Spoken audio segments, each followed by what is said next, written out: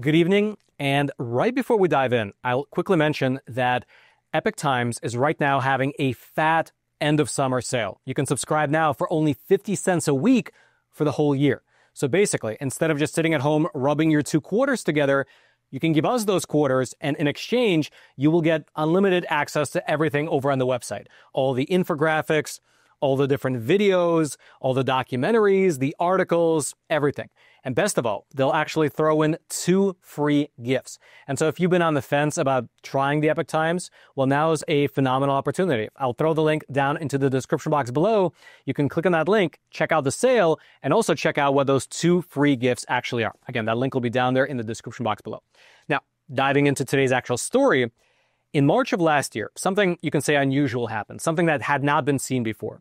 You had an American farm worker who worked with dairy cattle over in the state of Texas, and that farm worker became infected with bird flu. He basically he had to leave work after he developed painful red, swollen, bloodshot eyes. It actually looked really frightening. Now, developing bird flu while working on a farm isn't exactly surprising. But what was unusual, though, was that this man claimed to not have worked with any birds or any other animals at all for that matter, other than dairy cows. The researchers looked into it, and eventually they published this study right here in the New England Journal of Medicine, confirming that his case presented the first known instance of mammal to human transmission of bird flu. You see, it's been known for a very long time that bird flu is highly contagious among birds. That's why usually if bird flu is detected, even one case, the entire flock gets killed off in quarantine. Farmers and health department don't really play around with it.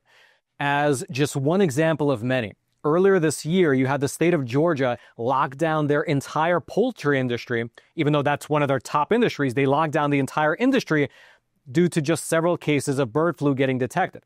Now, bird flu, it is known to go from one species to another. It's known to go from birds to cats or birds to cows or birds to humans.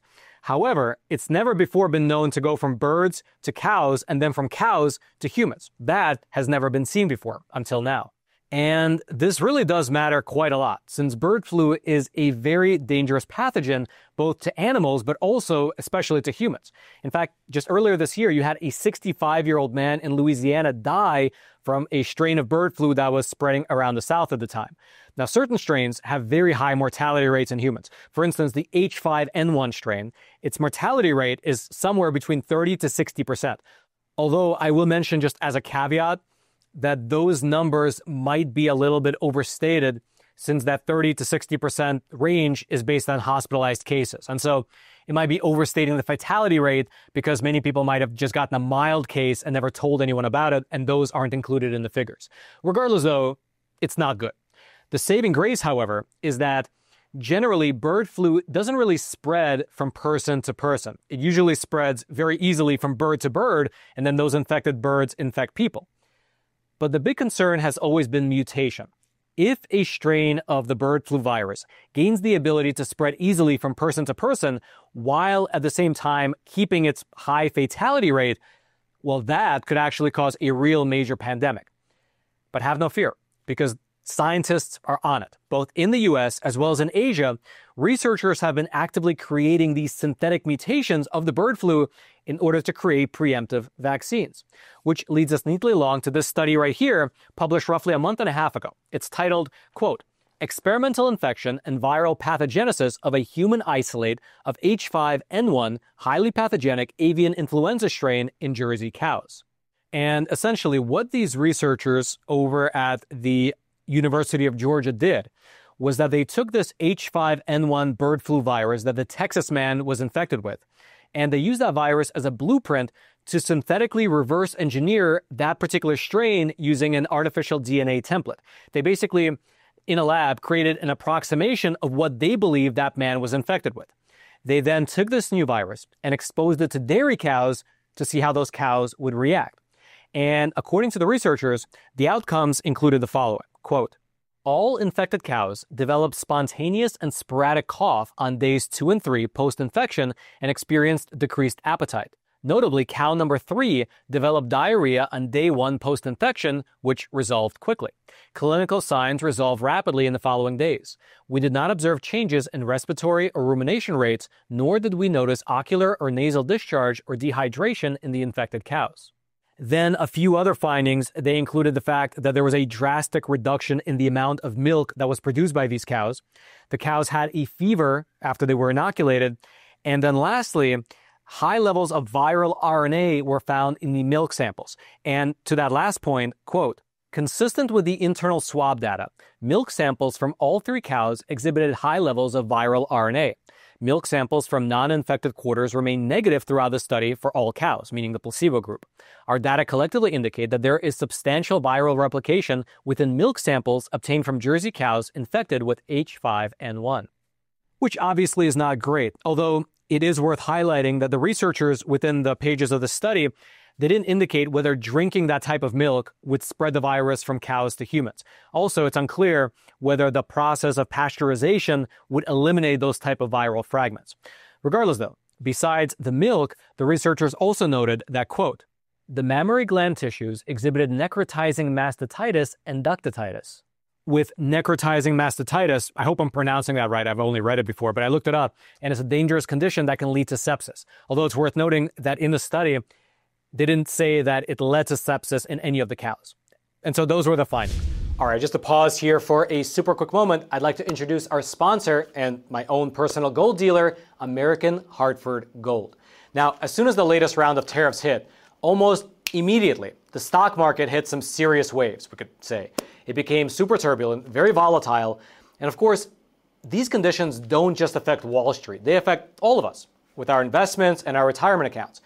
That's why I want to introduce a company that I trust and I use myself to help secure my own savings American Hartford Gold.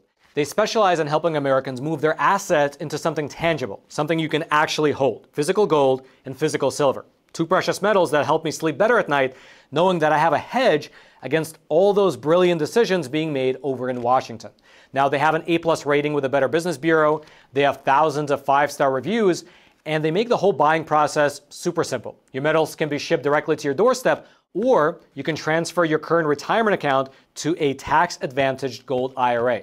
And the best part is that right now, American Hartford Gold is offering an exclusive buy one, get one deal for my viewers. When you call them and mention my name, Roman, for every one ounce of gold that you purchase, you can get one ounce of free silver. And so take advantage of this special offer. Either call 866 242 2352 or simply text Roman to 65532. That's again 866 242 2352 or text Roman to 65532. I'll also throw their information, it'll be down in the description box below. Although perhaps it's also worth mentioning that this research it was funded in part by grants from the USDA as well as grants from the NIH, including one particular grant contract number 75N93021C00014.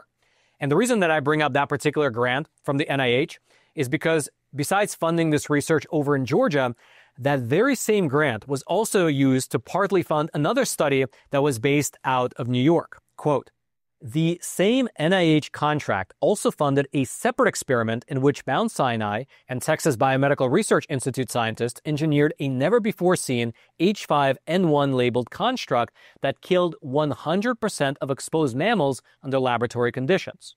Basically, these other scientists were conducting very similar research to the research that was being conducted over in Georgia. They were trying to reconstruct the bird flu strain that was found over in Texas, the one that jumped from the cow to the human. They did this using a technique called reverse genetics. Quote, the resulting sequence, which had not existed prior to the experiment, proved 100% lethal in mammals under laboratory conditions. The lab built strain, labeled HPH-TX-NLUC, was assembled using a technique called reverse genetics, which allows researchers to reconstruct so called viruses from digital sequence data. When tested in mice, the construct triggered fatal outcomes in all unvaccinated animals within seven days.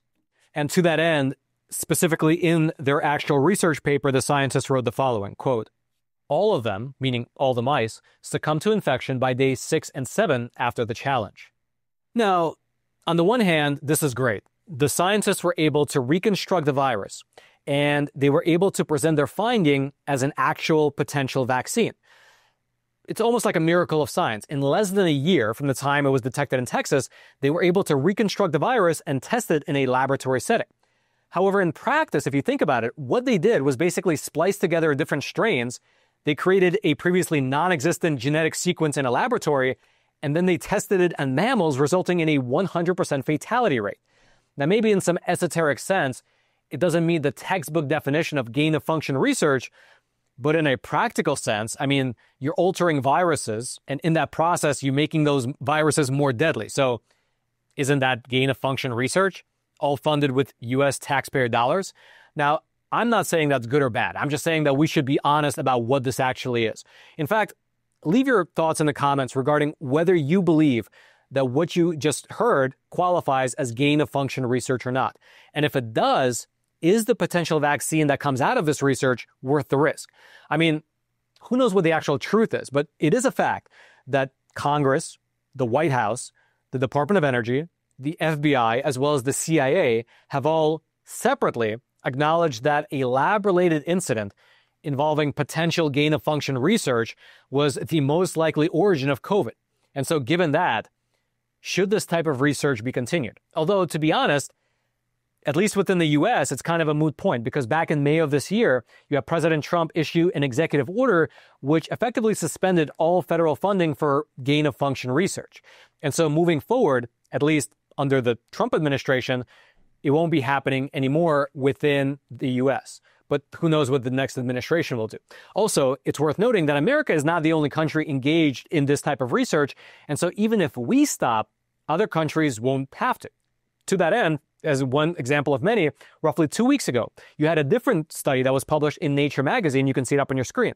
This study, conducted by Japanese researchers, just like their Georgian and New York counterparts, they engineered an entirely new strain of bird flu. They essentially combined the genetic material of two separate wild viruses to create a new one that they called VAC3. VAC-3, a new novel synthetic strain. Novel because again, it did not exist in nature previously. It was artificially assembled, grown in eggs, concentrated, inactivated to become a vaccine. But again, the virus that they created did not exist in nature. It was entirely lab made, which, if it's done for vaccine purposes and there are no leaks and no outbreaks, it's probably fine. It actually probably is good. It's beneficial. The problem, though, is always that one time out of a thousand where something goes wrong. And so, again, leave your thoughts in the comments on whether you support this type of research. Do you believe that the benefits outweigh the risks? And also, if you happen to be watching this episode and you're in this field yourself, well, then please leave your thoughts. Did I miss anything? Did I misrepresent anything? I mean, specifically, if you work in the vaccine medical research industry, I'm sure many people would appreciate your insight into this type of research. And so let me know if I missed anything. Let me know if I misconstrued anything, if I left something out, if there's something that I'm missing, uh, if there's just a blind spot here, because I'm I'm sure many people are skeptical of this type of research after COVID but maybe there's something that we all don't know about. So again, leave your thoughts in the comments. I'll be reading them tonight as well as into the week after this video publishes. Also, if you'd like to read the entirety of the papers that came out of Georgia, New York, or Japan, I'll throw all those links down into the description box below. Which I should mention is that same description box with the link to the end of summer sale for the Epic Times. Again, it's just 50 cents a week uh, for the whole year. You can check that link out as well.